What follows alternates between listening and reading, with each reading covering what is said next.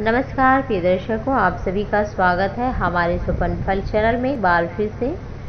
आप सभी को सादर प्रणाम, नमस्कार। दोस्तों, आप सभी परमेश्वर की कृपा बनी रहे। इसी शुभकामना के साथ में आज के इस वीडियो में सुपन फल चैनल में आप सभी के सपनों का अर्थ लेकर हाजिर हैं। दोस्तों, आइए जानते हैं सपने कार, देखने का अर्थ प्राचीन काल में वाहन इत्यादि, वो किसी प्रकार का, वो चाहे कोई विमान हो और चाहे कोई तांगाया इत्यादि वाहन माना जाता था। आज कार के रूप में उसे देखा जाता है। तो दोस्तों, हम रात्रि में कोई ना कोई सपना देखते हैं और कभी हमारे जीवन में शुभ तो कभी अशुभ संकेत होता है। तो दोस्तों, चलिए जानते हैं स्वप्न में कार देखना।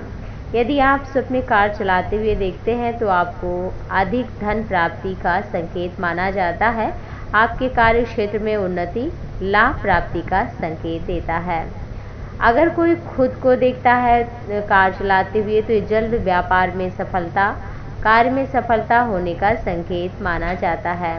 यदि कोई व्यक्ति देखता है, स्वप्न कार खराब हो गई है तो यह अशुभ सपना माना जाता है। रुकावट आने और धन हानि का संकेत माना जाता है।